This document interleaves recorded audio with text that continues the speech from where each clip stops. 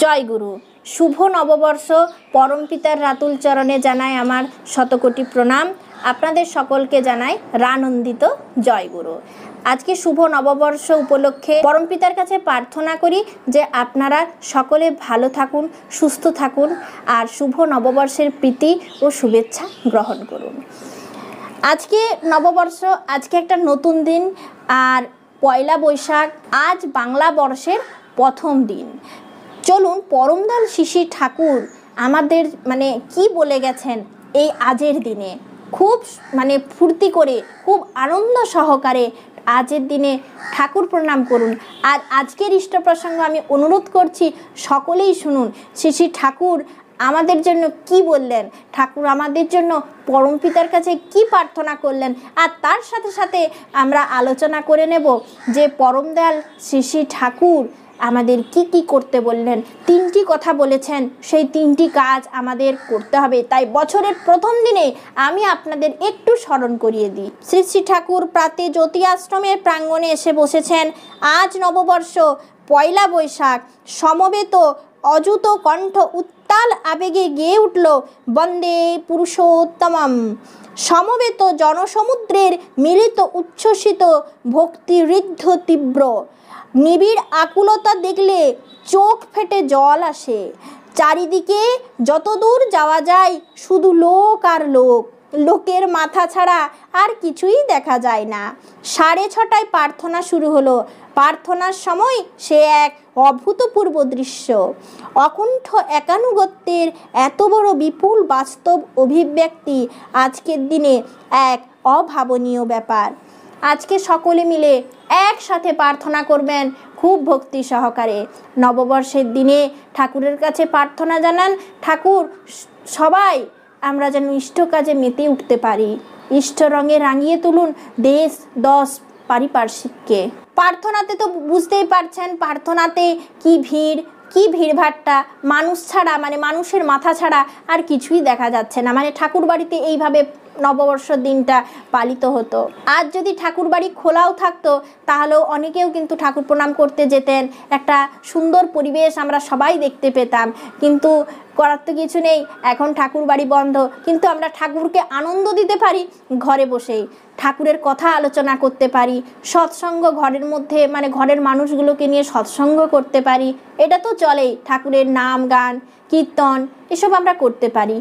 প্রার্থনা শেষে শ্রী শ্রী ঠাকুর বললেন, প্রথমেই আমার পরম পিতার কাছে আকুল প্রার্থনা। তোমরা সকলে সুখে, সুস্থ, সুদীর্ঘজীবী হও।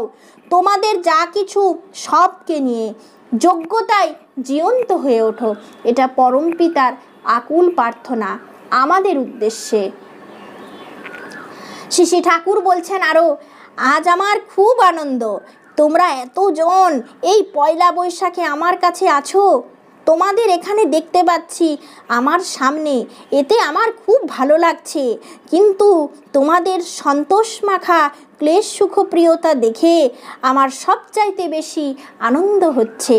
তোমাদের দেখে আজ আশা হচ্ছে তোমরা যদি তীব্র বেগে এগিয়ে চলো, আমরা হয়তো অচিরেই স্বর্ণ ভবিষ্যতে পৌঁছাতে পারব। তাহলে ঠাকুরের ইচ্ছা আমরা খুব তেজে এগিয়ে চলবো। খুব তেজে, খুব জোরের সাথে ইষ্টকে নিয়ে ঠাকুরকে স্মরণ করতে করতে সামনের দিকে এগিয়ে চলুন। পিছনে কিছু নেই। যা অতীত তা হয়ে গেছে। আমাদের অতীতকে নিয়ে বসে থাকলে কিছুই হবে না। আমাদের কি দরকার জানেন? এই যে পেছনে যে আমরা অতীত ফেলে এসেছি, সুখ, দুঃখ, দুর্দশা যা কিছু আছে, দুরবস্থা যা কিছু আছে, সব কিছু থেকে শিক্ষা গ্রহণ করা, যে আমি কি করেছি, আমার হয়তো এটার করা চলবে না। এই রকম কিছু শিক্ষা গ্রহণ করুন এবং সামনের দিকে এগিয়ে যান। যা হবে তা ভালো হবে, তা পরম দয়ালের ইচ্ছাতে হবে। আর ভয় কিসের? এরপর কেষ্টদাসী শ্রী ঠাকুরের প্রদত্ত শুভ নববর্ষের আশীর্বাণী পাঠ করলেন জনগণ মন অধিনায়কও গাওয়া হলো। গানের পর সবাই অর্ঘাঞ্জলি সহ প্রণাম নিবেদন শুরু শুরু করলেন। কিন্তু তখন লোকের এত চাপ সৃষ্টি হলো যে কিছুতেই তা সামলানো গেল না। জ্যোতি আশ্রমের গেট ভেঙে গেল। শ্রী শ্রী ঠাকুর আবার এই ভিড়ের মধ্যে বেরোলেন প্রস্রাব করতে। পাগল বারিন ভাই একবারে এসে শিশি ঠাকুরের পা চেপে ধরলো। শিশি ঠাকুর যেতে যেতে তার এক পায়ের চটি হারিয়ে গেল, সেটার আর সন্ধান পাওয়া গেল না। এই রকমভাবে ঠাকুর বাড়িতে শুভ নববর্ষের দিনটি পালন করা হতো। শুভ নববর্ষের দিন কেমনভাবে পালন করা হতো আমরা জানলাম। কিন্তু এরপর জানব পরমদাল শিশি ঠাকুরের সেই তিনটি কথা যেটিকে নিয়ে আমরা সব দিন ঘুরে বেড়াবো, যেটা আমরা সব সময় স্মরণ করব। আসুন সেই কথা আজের দিনে আমরা স্মরণ করি। দেখুন, ঠাকুর তো বলছেন যে দীক্ষা নিতে। শুধু দীক্ষা নিলেই হবে না, দীক্ষা নেওয়ার পর যা যা করণীয় সেটা করতে হবে। তার মধ্যে ছোট্ট একটা পয়েন্ট আমি বলি, সেটা হলো লোক সেবা করা। এমনভাবে সেবা করতে হবে। সেবাটা যেন সার্থক হয়। আপদে বিপদে মানুষের পাশে দাঁড়ানো, মানুষকে দেখা। ঠাকুর যতদিন লীলা করেছেন, ততদিন শুধু মানে ঠাকুরের মুখে মানুষ ছাড়া কোনো কথাই ছিল না। ঠাকুর শুধু বলতেন, আমার টাকা পয়সা নেই রে, তোরাই আমার সম্পদ, তোরাই আমার কাছে আছিস, এতেই আমার আনন্দ। এইভাবেই থাক আর মানুষের পাশে দাঁড়া। তোরা থাকলেই সব হবে। তীব্র বেগে কাজ এগিয়ে চলবে। ঠাকুর এটাই চাইতেন। আরও ঠাকুর কি কি বললেন শুনুন, সেই তিনটি কথা। বলছেন, দীক্ষা নাও, নাম করো। ধর্মকে প্রতিপালন করো, প্রতি পদক্ষেপে। ধর্ম জীবন্ত হয়ে উঠুক তোমাতে। সেই জীবন নিয়ে সকলের কাছে যাও। এই যে আমার জীবন, আমার জীবনে যেন ধর্ম জীবন্ত হয়ে ওঠে।